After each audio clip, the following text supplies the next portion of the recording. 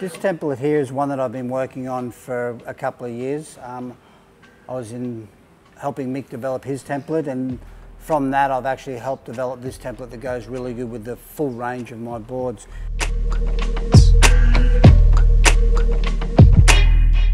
Because this fin's not laid back like some of the fins I've designed in the past, it's a little bit more up, upright. So this will be a lot better for a lot more east-west movement also be able to slide your tail out a little bit more.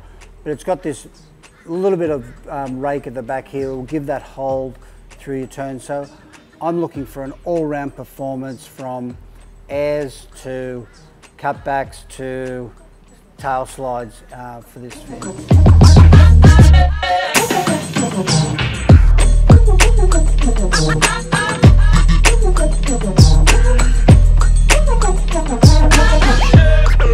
Majority of people surf is in one to three foot surf um, and that's what I've designed this fin for. It's an all-rounder for beach breaks, high tide points or put it in your pintail guns.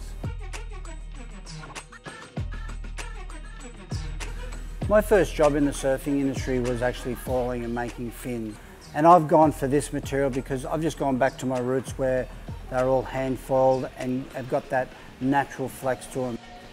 I've gone for a, a sanded finish on the uh, outside and then a gloss finish on the inside. And the reason I've done this is this side here where all the water goes around, I've actually wanted that to have a little bit of grip. And this side here where the water flows off a lot quicker, I've made it shiny so the water hits it and goes off it a little bit faster. So I'm actually after a fin that's faster on this side and a little bit more grippy on this side. And it seems to work really well.